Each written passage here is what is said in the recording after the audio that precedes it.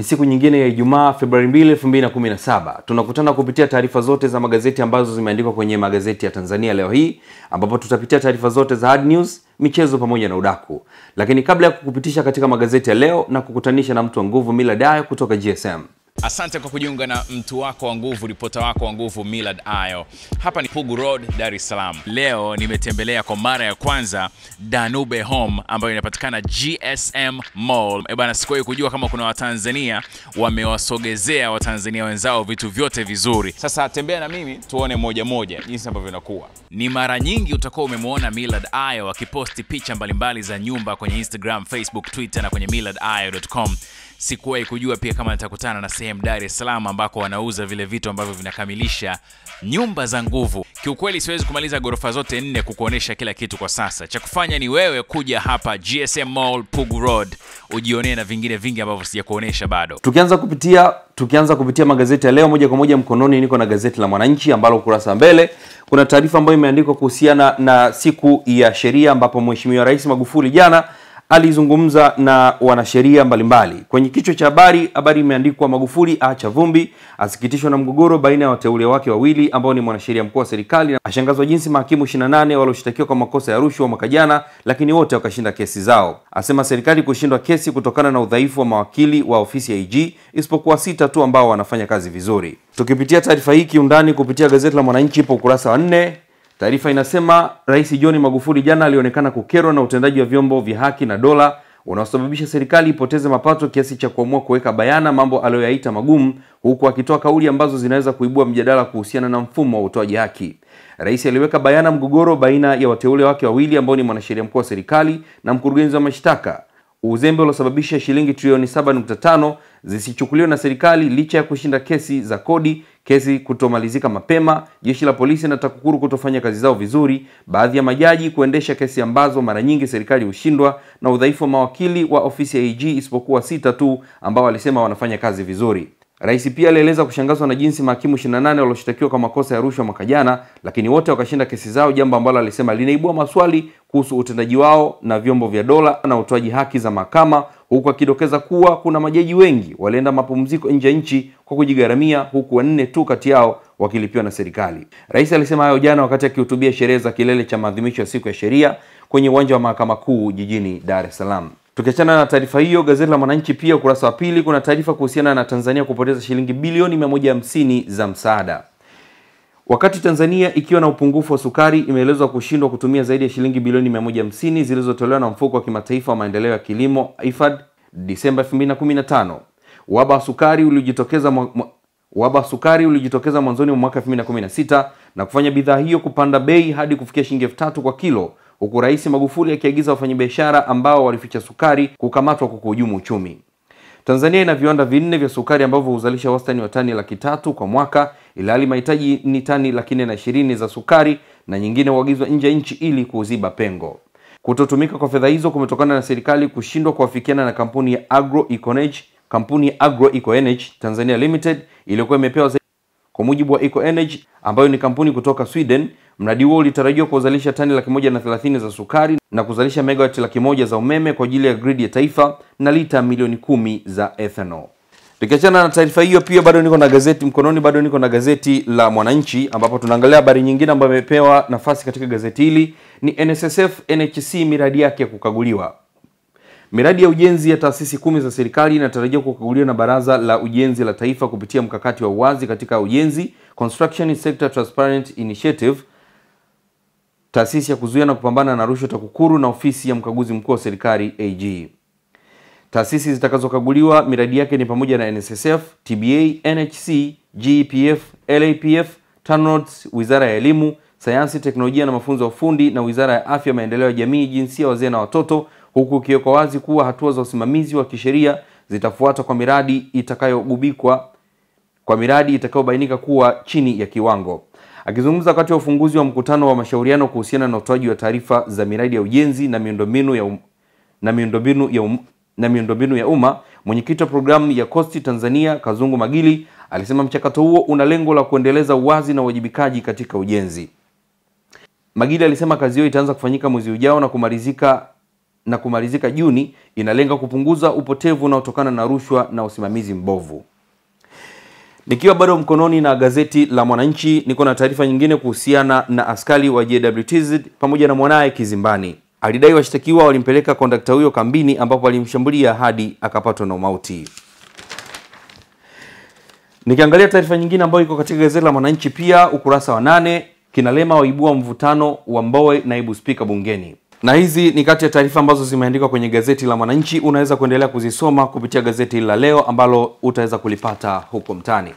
Nikikamata gazeti lingine ni Mtanzania mkononi, Makonda ajitoa mwanga dawa za kulevya. Wema TID Chidibenzi waitwa kuhojiwa polisi, awataja askari tisa, aagiza watiwe mbaroni. Habari ipo katika ukurasa wa nne katika gazeti la Mtanzania ambapo gazeti hili imeandika gazeti hili limeandika mkuu wa mkoa wa Dar es Salaam Paul Makonda amejitoa mwanga katika mapambano dhidi ya dawa za kulevya kwa kutaja majina ya kwa kutaja majina ya wasanii wakubwa wanaodaiwa kutumia dawa hizo. Kutokana na hali hiyo, amesema kuwa wasanii hao wamekuwa wakitumia mtandao wa polisi tisa ambao amewataja kwa majina na ameagiza wakamatwe. Akizungumza na waandishi wa habari jijini Dar es Salaam jana, Makonda alisema yuko tayari kupoteza nafasi yake ya ukuu wa mkoa na hata kutangulia mbele ya haki, yani kufa, akisimamia utekelezaji wa vita hiyo. Makonda ni kiongozi wa kwanza kutangaza majina hadharani ya watu wanaotumia pamoja na wale wanaodaiwa pamoja na wale wanaodaiwa kufanya biashara ya dawa za kulevya wakishirikiana na askari polisi. Hatua hiyo imekuja miaka kadhaa iliyopita baada ya rais mstaafu Jakaya Kikwete kuutangazia umma kwamba ana orodha ya wauza dawa za kulevya wakubwa, lakini hadi anaondoka madarakani hakuwahi kuwa ametaja hakuwahi kuwa ametaja majina hayo hadharani. Hatua hiyo imekuja miaka kadhaa iliyopita baada ya rais baada ya rais mstaafu Jakaya Kikwete kuutangazia umma kwamba anayo orodha ya wauza dawa za kulevya wakubwa, lakini hadi anaondoka madarakani hakuwahi kuwa ametaja majina hayo. Nikiachana na taarifa hiyo, ukurasa wa tano kuko na taarifa kuhusiana na mwongozo wa barabara vijijini kuzinduliwa. Serikali imetangaza mwongozo mpya usanifu wa ujenzi wa barabara zinazopitisha magari machache hasa maeneo ya vijijini ambao utasaidia kupunguza gharama za ujenzi.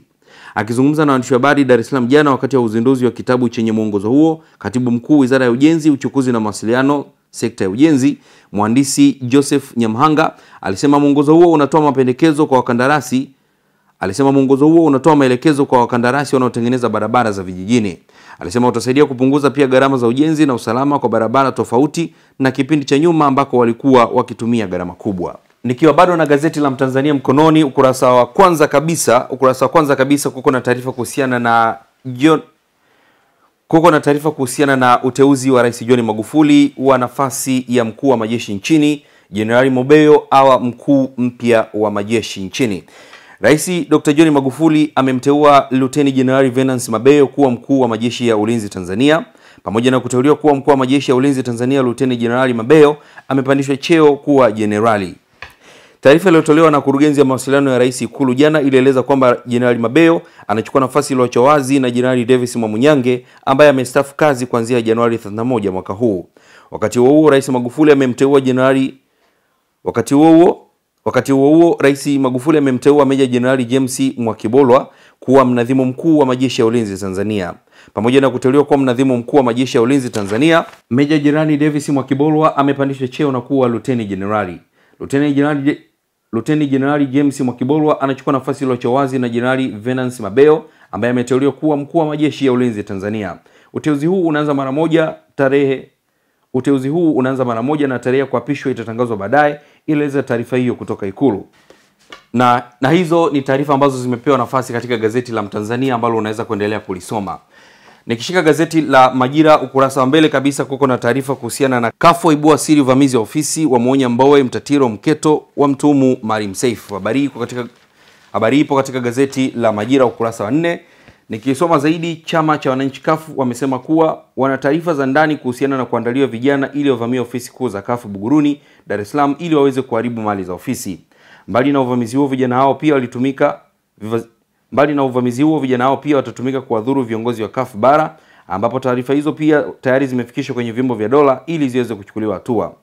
Mkurugenzi wa ulinzi na usalama wa kafu Masudi Mwina alisema wana taarifa za kufanyika vikao mbalimbali vinavyofanywa na wanaojiita viongozi wa kafu bara akiwemo katibu mkuu wa chama hicho Maalim Seif Maalim Seif Sharif Hamadi pamoja na viongozi wa chama cha demokrasia na maendeleo Chadema, na aliongeza kuwa vikao hivyo vina lengo la kukihujumu chama hicho, na hivyo wamemtaka Maalim Seif kuacha kufanya hivyo, kwani vikao hivyo havina tija kwake zaidi ya kujenga uhasama dhidi ya wanachama na viongozi wa CUF bara na Zanzibar. Nikikamata gazeti la Nipashe ukurasa wa kwanza kabisa, taarifa ambayo imeandikwa hapa imepewa kichwa kikubwa, Mbowe Dr. Tulia waingia bifu jipya. Ukurasa wa pili ndipo ambapo imeandikwa zaidi taarifa hii.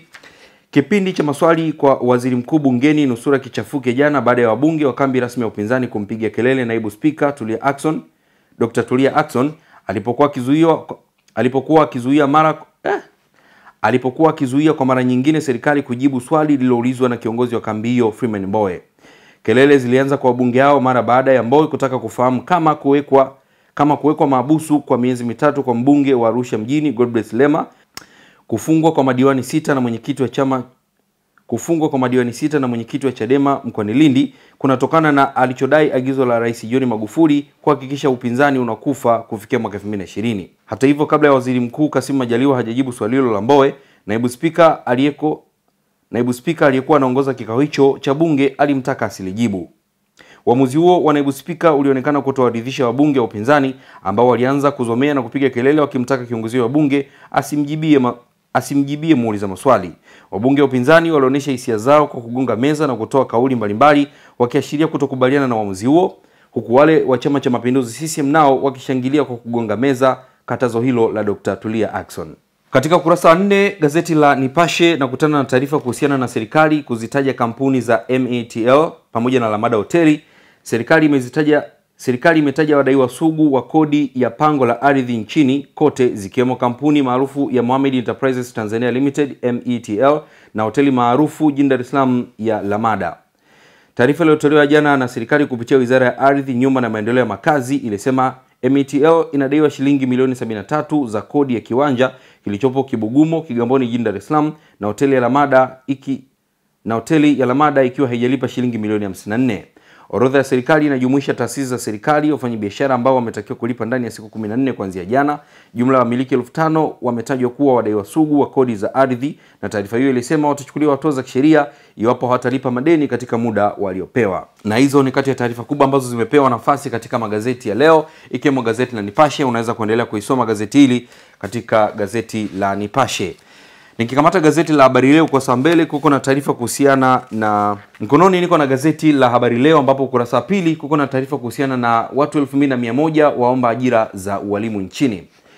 Waziri wa nchi ofisi ya Rais, menejimenti ya utumishi wa umma na utawala bora, Angela Kairuki amebainisha kuwa wakati serikali imetangaza ajira za walimu elfu nane wa masomo ya sayansi na hisabati, hadi sasa wamejitokeza waombaji elfu mbili na mia moja. Hali hiyo inahusishwa na uhakiki wa vyeti unaoendelea serikalini ambao pia amesisitiza kuwa ifikapo Machi mwaka huu watumishi wote wa umma ambao hawajawasilisha vyeti vyao vya kitaaluma watafukuzwa kazi. Kairuki ameyasema hayo jana mjini Dodoma wakati akizungumza na watumishi wa umma wanawake katika manispaa ya Dodoma kwenye maadhimisho ya miaka 40 ya Chama cha Mapinduzi CCM.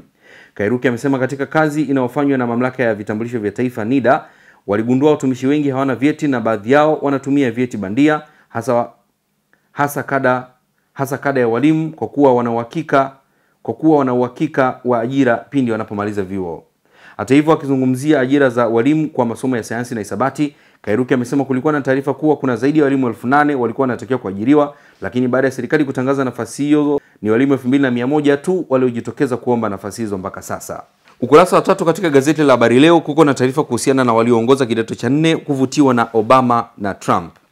Wanafunzi walioongoza kitaifa katika matokeo ya kidato cha nne yaliyotangazwa wiki hii Alfred Shauri na Sinsia Mchechu wameshauri serikali kubadili mitaala na kuandaa wanafunzi katika kujiajiri huku kukiwa na aina moja ya vitabu kwa madarasa yote katika kufundisha wanafunzi kote nchini.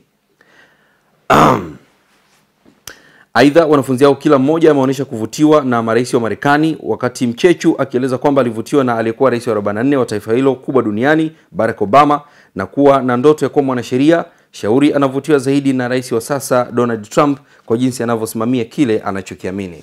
Unaweza kuendelea kuisoma taarifa hizi katika gazeti la Habari Leo ukurasa wa nne. Moja kwa moja kuko na taarifa kuhusiana na serikali kuondoa bungeni mswada wa madaktari. Serikali imeuondoa bungeni mswada wa sheria ya madaktari, madaktari wa meno pamoja na wataalamu wa afya shirikishi wa afya mwaka madaktari wa meno na wataalamu wa afya shirikishi wa mwaka 2016. Akitangaza agizo hilo bungeni jana, naibu spika Tulia Ackson alisema serikali imeamua kuondoa mswada huo kwa sasa. Hili ni agizo la serikali, alisema Dr. Tulia wakati akiahirisha bunge jana asubuhi. Akizungumza na gazeti hili naibu akizungumza na gazeti hili naibu waziri wa afya, maendeleo ya jamii, jinsia, wazee na watoto Dr. Hamisi Kigwangala alisema alisema serikali imeuondoa mswada huo kutokana na wadau wa sekta ya afya kutoridhika kwamba haujatendewa haki kutoridhika kwamba hawajatendewa haki. Alisema japo wadau hao wa, japo wadau wao waganga wasaidizi na waganga wasaidizi wa meno walishirikishwa katika kutoa maoni kwenye kamati ya kudumu ya Bunge, huduma na maendeleo ya jamii, inaonekana hawajaridhika kutokana na kitendo cha kutoingizwa rasmi kwenye jina la mswada huo, kitendo ambacho wanaona kama dalili za kuondolewa kazini kama ungepitishwa. Unaweza kuendelea kusoma pia taarifa hizo kupitia gazeti la Habari Leo. Na tukiingia kwenye magazeti ya udaku mkononi, leo niko na gazeti la Ijumaa ambalo katika kurasa wa mbele kumeandikwa taarifa ambazo unaziona hapo mbele katika gazeti la Ijumaa leo, na katika kurasa za nyuma pia kuko na taarifa ambazo zimeandikwa ukurasa wa nyuma kama ambavyo zinaonekana kwenye gazeti hili.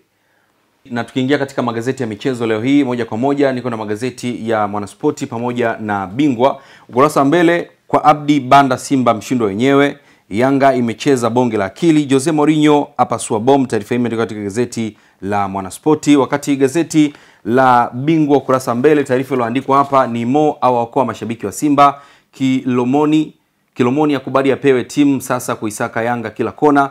Gazeti la gazeti la Bingwa pia liko na taarifa kuhusiana na Yanga haitaki mazoea, yaigeuzia kibao Simba kweupe, stendi kukutana na kikosi kipya.